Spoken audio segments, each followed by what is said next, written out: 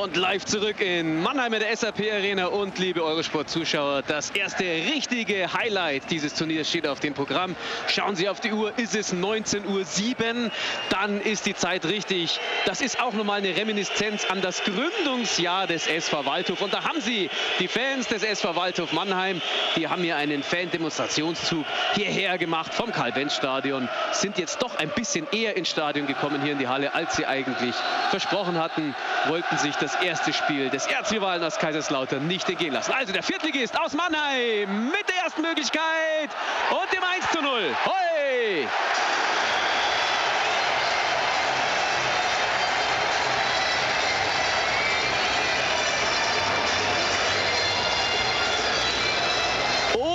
Ohrenbetäubender Lärm, keine 20 Sekunden vorbei und Uwe Repolz macht das Tor. Ausgerechnet Uwe Repolz, der Ex-Kaiserslauterner, der kennt die ganzen Jungs natürlich und der trifft gegen seine ehemaligen Teamkameraden. Na, das ist doch mal eine Ansage hier. Ja, komm er kaum zum Luft holen. Waldhof im Blau natürlich, die Waldhof Bubis, der abstiegsbedrohte Viertligist gegen den Herbstmeister der zweiten Liga, der so eine riesen Vorrunde unter Marco Kurz hingelegt hat. Und jetzt geht es hier richtig ab in der Halle. 11.500 Zuschauer. Halle ist voll, nur ein Block wurde nicht verkauft. Zu unserer Rechten aus Sicherheitsgründen Abstand lassen. Zu den Waldhof-Fans hieß es. Und deswegen ist hier nicht alles äh, komplett gefüllt, aber ansonsten die Stimmung hervorragend. Und wir haben so viele Tore schon gesehen, 18 Stück und immer 3 zu 3. Alle drei Spiele bislang 3 zu 3 unentschieden. Vielleicht gelingt ja jetzt einer Mannschaft der erste Sieg. Und eins ist auch klar, wenn Waldhof gewinnt, sind sie schon im Halbfinale.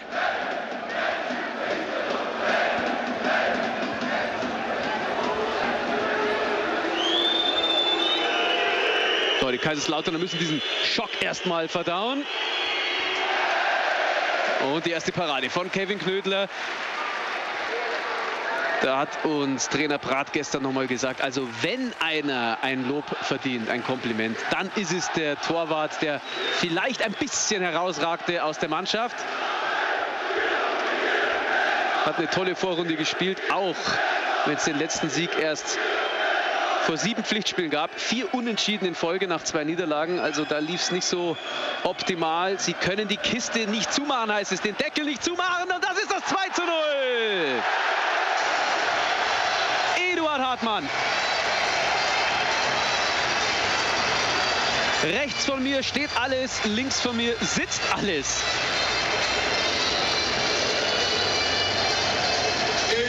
Und da schaut Luis Robles also ziemlich bedeppert rein. 2 Minuten 30 gespielt. Der Viertligist führt mit 2 zu 0.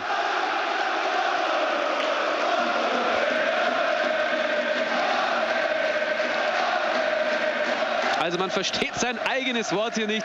Tolle Stimmung in der SAP-Arena. Das hatten sich die Verantwortlichen auch so erhofft. Erst hieß es ja, die Waldhöfer werden nur eingeladen, damit Stimmung in der Bude ist. Aber das ist nicht ganz richtig. Also auch die Kaiserslautern haben hier eine Menge Fans mitgebracht. Selbst Duisburg-Anhänger wurden hier gesichtet. Einen kleinen Fanblock haben wir gehabt. Aber das ist, wie gesagt, der erste Höhepunkt, auf den jeder hinfieberte. Und das Spiel hält aus Mannheimer Sicht bisher, was man sich erhofft hatte. Nächste Möglichkeit. Oh, Zusammenprall. Und da merken Sie, was da los ist. Michael Reit mit Luis Robles da.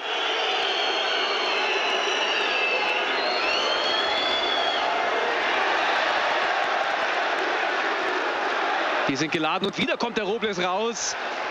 Aggressiv gegen Roger Pandong. Na, der lässt sich doch ein bisschen anstecken. Das hat der Waldhof-Trainer uns auch vorhin noch mal gesagt, vor dieser Begegnung. Vor einer halben Stunde hat er gemeint, ja, also hier, das sehen Sie, nächste Aktion an der Bande. Viel, viel Emotion. Auch bei Daniel Pavlovic.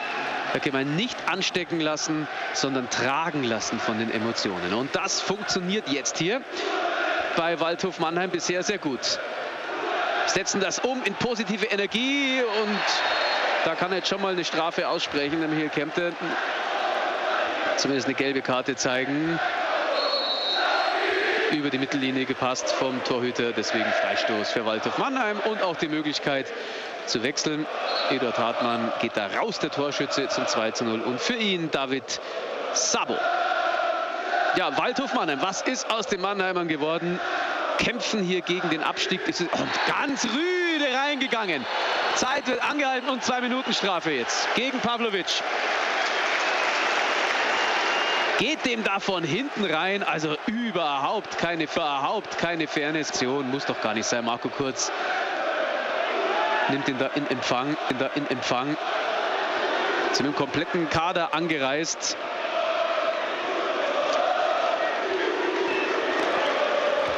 Sogar besser als in der Meistersaison in der zweiten Liga unter Otto Rehagel sind die Kaiserslauterner. Da tut auch das 1 zu 4 zuletzt gegen den FC Augsburg keinen Abbruch. So, Marco Kurz hat dann eine Zeit, das Zeitanhalten gefordert, läuft jetzt zum Schiedsrichtertisch.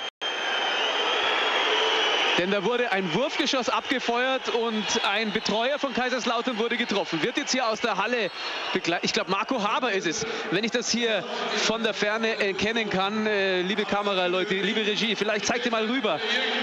Ja, ein bisschen weiter nach rechts, da kommt Marco Haber, der greift sich an den Kopf, wurde getroffen von irgendeinem Wurfgeschoss und das muss er nun wirklich nicht sein. Ja, da haben wir es in der Mitte, in der Bildmitte im grauen Sakko geht er hinten raus Richtung Spielerkabine der Kaiserslauterner.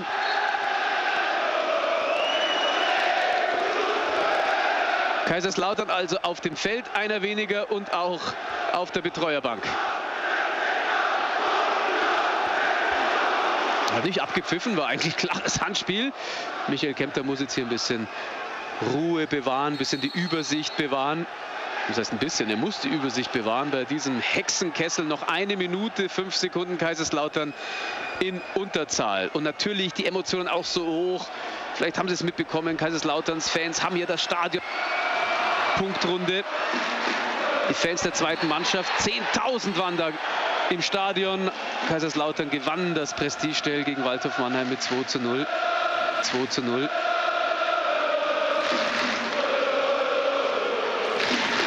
Ja, zwei schnelle Tore von Waldhof Mannheim durch Repolz und durch Hartmann. Und sie sind einer mehr. Sie könnten jetzt diese Überzahl noch ausspielen. Noch eine halbe Minute. Das ist eine lange Zeit. Jetzt kommt von hinten der Vierer. Es geht nicht, dass Zuschauer Feuerzeuge auf die Spieler. Daniel Reule mit dem Schuss. Und anscheinend hat ein Feuerzeug Marco Haber getroffen. Seid bitte so vernünftig. Bleibt locker mit Begeisterung.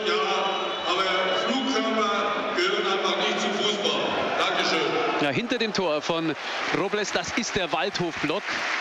Und da haben also ein paar durchgedreht. Ich verstehe es ja nicht. Im Übrigen sind alle Spieler nicht Raucher.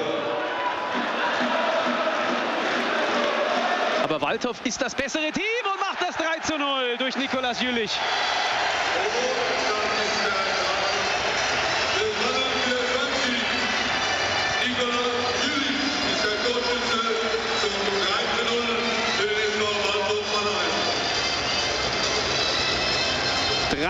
Noch in der ersten Hälfte und Waldhof führt mit 3 zu 0. Denn auch Boris Becker, der Mann, bei dem so viel Applaus gab hier in der Halle, verzockt sich hier bei diesem Linksschuss. Ja, und da geht es wieder zur Sache, aber halb so schlimm. Das war ein bisschen Geschauspiel von Dario Damjanovic. Halb so wild, was der Roger Pandon gemacht hat. Es ist ja so eine junge Mannschaft, unter 22 der Altersdurchschnitt bei Waldhof Mannheim. Und sie müssen diesen Spagat schaffen zwischen Liga und Hallenturnierspaß. Und der ist wirklich ganz gut gelungen bisher. Am 6. Januar gibt es hier das große Turnfest in der SAP Arena in Mannheim. Und ja, den Spagat, den machen sie hier schon mal vor. Die Waldhof-Bubis führen mit 3 zu 0 gegen den Zweitliga-Herbstmeister.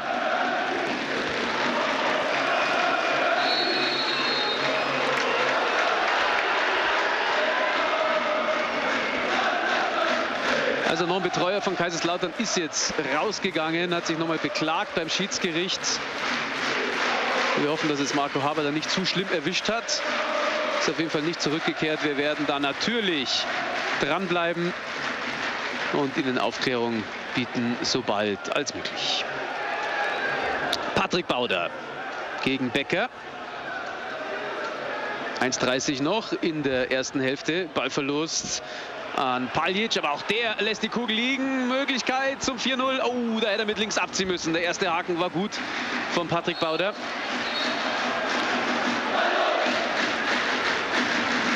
Letztes Jahr wurden sie Zweite, vorletztes Jahr Dritte. Dieses Jahr ist der Titel dran, haben die Waldhof-Fans gesagt. Also wenn die hier weiter, so weitermachen, dann haben die wirklich gute Chancen. Wenn es so bleibt, stehen sie schon sicher im Halbfinale. Und Kaiserslautern muss dann schauen, was Waldhof in seinem letzten Spiel schafft. Ja, könnte auch mal abpfeifen, was soll da noch draus werden.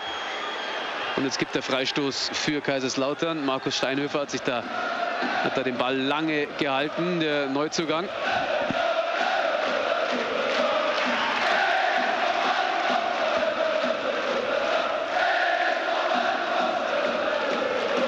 Letzte halbe Minute in der ersten Hälfte. Waldhof Mannheim in einem emotionsgeladenen Spiel mit 13-0 Führung.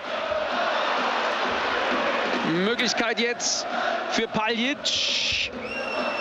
Und jetzt ist die Chance vorbei und Van Dong wird sie natürlich alle Zeit der Welt lassen, um hier vielleicht nochmal abzuziehen, kurz vor Schluss. Nee, macht er nicht. Also, erste Spielhälfte geht vorbei. Leider mit diesem Tiefpunkt, der Feuerzeugwurf aus dem Waldhofblock. Spielerisch war das absolut in Ordnung. Marco Kurz dementsprechend angefressen. Wir sehen es in seinem Gesicht haben sich vorher ganz locker warm geschossen unten in den Katakomben. Marco Kurz, Marco Haber und Gary Ehrmann hat dazugeschaut, der Torwarttrainer. Und jetzt hat er noch ein paar Worte losgelassen gegenüber dem Schiedsgericht. Der Marco Kurz ist da überhaupt nicht zu beruhigen. Aber ich denke, da kann dem Schiedsgericht auf der Höhe der Mittellinie keinen Vorwurf machen, dass die das nicht früh genug registriert haben. Und Marco Haber ist auch schon wieder zurück, wenn ich es richtig erkannt habe.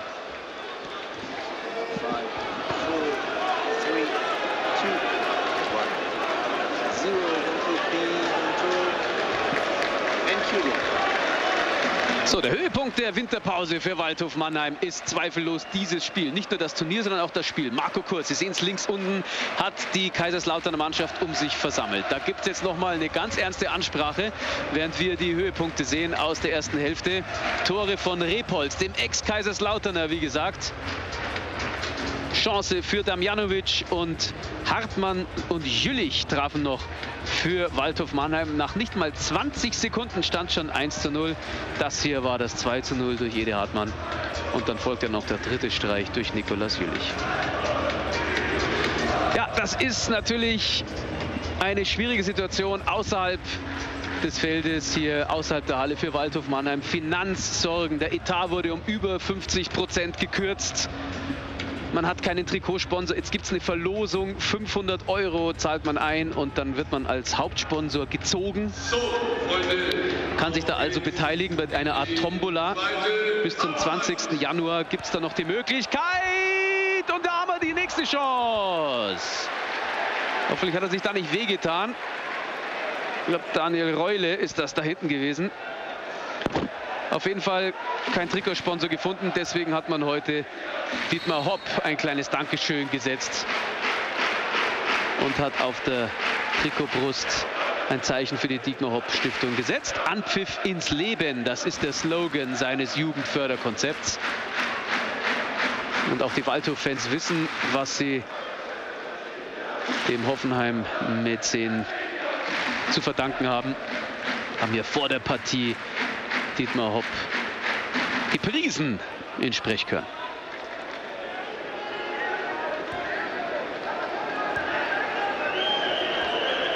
(3-0) also für Waldhof Mannheim mit diesem Blitzstart in der ersten Hälfte. Das ist natürlich eine ideale Ausgangsposition.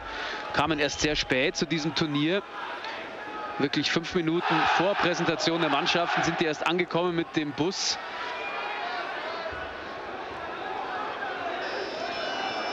Aber machen hier ganz clever weiter. Und die Fans, die haben hier wirklich ein Organ. Also da dröhnt es mir im rechten Ohr. Wird durchgesetzt von Fabian Müller. Und Fuchs, der das erste Spiel sehr, sehr gut bestritten hat, auch da ein Tor gemacht hat, zum 1 zu 0. Steht jetzt ganz frei. Oh, da ist er noch dran, der Patrick Haag. Achtung, dringend bewohnen Busfahrer des Fettbusses aus Duisburg. Jüllich in der 1 zu 1 Situation kann sich durchsetzen. Da kommt er gut raus, der Luis Robles. Aber Waldhof beherrscht dieses Spiel ja, soweit man davon beim Hallenfußball sprechen kann. Die machen keine unnützen Abspielfehler und vor dem Tor sind sie kaltblütig. Ja, das Foul wollte haben. Fabian Müller. Und Nikolaus Jülich tat ihm den Gefallen. Freistoß Kaiserslautern geht sofort weiter. Also ein Unentschieden müssen die hier rausholen und dann hoffen, dass Waldhof das zweite Spiel verliert. Sonst ist der FCK draußen. Die brauchen jetzt drei Tore in siebeneinhalb Minuten. Und wenn sie so weitermachen wie Dani Pavlovic jetzt da draußen, dann wird das nicht gut gehen. Nochmal Pavlovic hält sich jetzt zurück. Das war ganz offensichtlich. Da hat Marco Kurz wohl auch beruhigende Worte gesprochen. Was bringt es denn auch?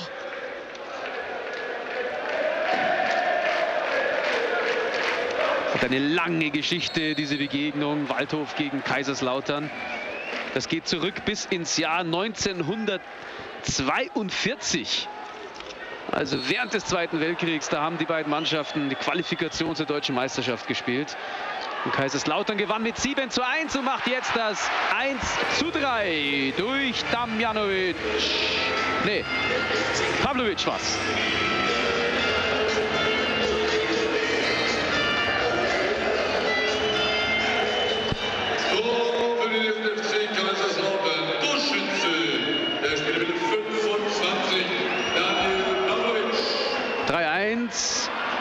Hat er gut gemacht, der Uwe Repolz.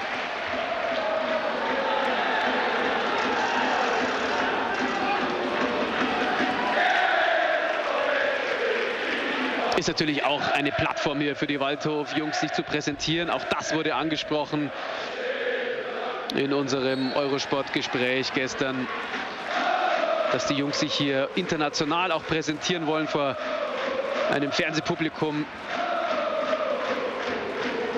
aus über 50 Ländern auf Eurosport. Wir gehen ja nachher um 20.30 Uhr dann zu den Halbfinals auf Eurosport international, auf Eurosport 1. Halle, wie gesagt, proppenvoll mit 11.500 Zuschauern. Also die machen hier ein ganz, ganz gutes Spiel. Haben gestern Mittag trainiert, aber nicht hier in der Halle, sondern im Soccer Center des Trainers. Der besitzt hier einen eigenen, eine eigene Fußballhalle. Und da war eine ganz lockere Stimmung. Und da wurde auch gar nicht viel mehr gemacht. Es gibt heute ein Hallenturnier, nächste Woche spielen sie noch eins mit. Und das ist es dann gewesen. Erstmal mit Hallenturnieren für Waldhof Mannheim. Fallerbadon. Na, zu weit vorne ausgeführt. Aber das bringt auch ein paar Sekündchen. Mittlerweile schon gleich die Hälfte der Spielzeit abgelaufen in der zweiten Spielhälfte. Und Waldhof Mannheim führt mit 3 zu 1, steht kurz vorm Halbfinaleinzug.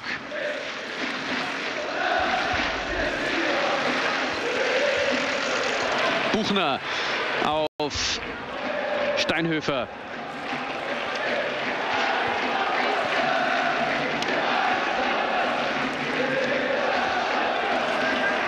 Ganz ein junger Spieler, der in Österreich gespielt hat. Äh, Steinhöfer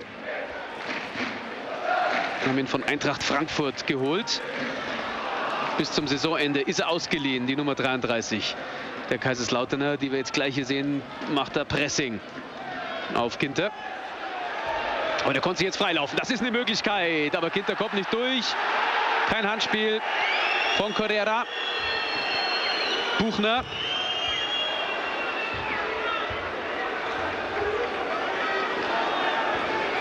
Oh, Fehler von Repolz. Und der geht jetzt auch raus. Der ist völlig platt. Nur noch vier Minuten müssen die Waldhöfer durchhalten. Ein Tor können sie noch erlauben.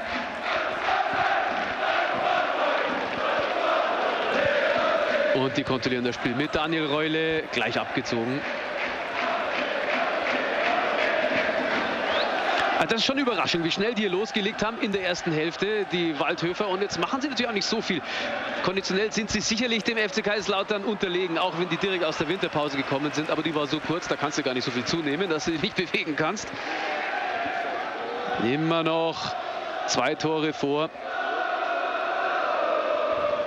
Und vielleicht sind sie hier zu Hause ein finanzstarker Sponsor und hätten Interesse an Waldhof Mannheim, diesem Traditionsclub, der durch Dietmar Hopp gerettet wurde.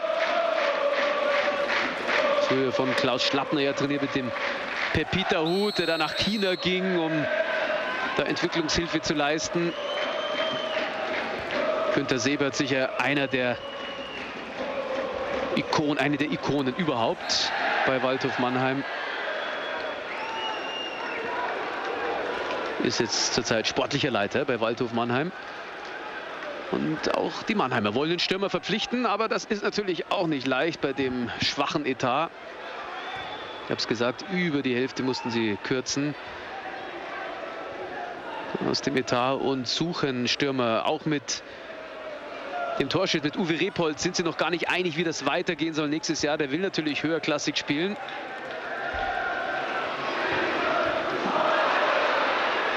Auch das schien Hand gewesen zu sein, so ist es von Alpa Akçam. Hatte da die Chance. Zwei Minuten nur noch hat der FC Kaiserslautern Zeit. Ansonsten heißt es Abreise für die Roten Teufel von Betzenberg. Die hatten ja nur fünf Tage frei, die Profis vom FCK. Nur Luis Robles, der durfte drei Tage länger bleiben. Vorstandschef Stefan Kunz war natürlich begeistert von der Vorrunde und ich glaube, die werden auch verschmerzen können, wenn sie hier nach der Gruppenphase ausscheiden. Aber das ist natürlich auch ein Signal für die Region hier, wenn Waldhof Mannheim das Duell gewinnen sollte. Auch wenn es nur ein Hallenturnier ist. Es ist nun mal das Highlight für die Blau-Schwarzen. Aber noch ist nicht durch. Noch ist 75 Sekunden zu spielen. Damjanovic bleibt hängen an Eduard Hartmann, dem Torschützen vom 2 zu 0. 2010 fallen so viel Altlasten weg bei Waldhof Mannheim. Die wollen unbedingt die Klasse halten. Natürlich gibt es da Vereine wie Essen, wie Münster, wie Lotte. Die sind einfach finanziell in einer anderen Liga.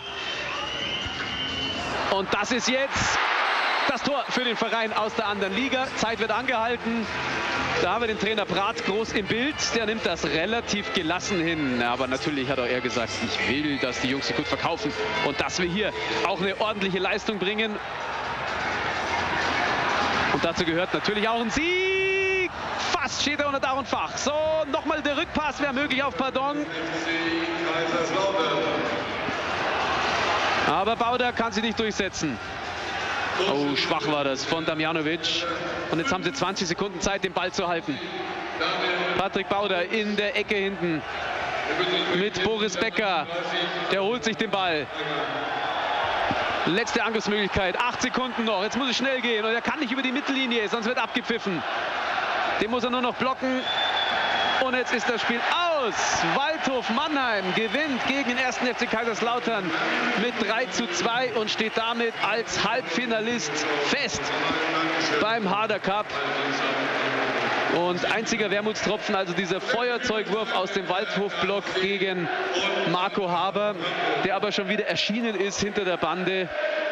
Ich hoffe, dass das alles nicht zu schlimm ausgegangen ist. Er kann seine Jungs loben. Dieses junge Team hat sich gut verkauft. Es geht also weiter, haben noch ein Spiel in äh, der Gruppenphase noch zu absolvieren. Und dann sind sie auch schon im Halbfinale. Also das sind doch tolle Informationen für die Fans von Waldhof Mannheim. Wir machen jetzt gleich weiter mit der Begegnung KSC gegen Eintracht Frankfurt. Kurze Pause.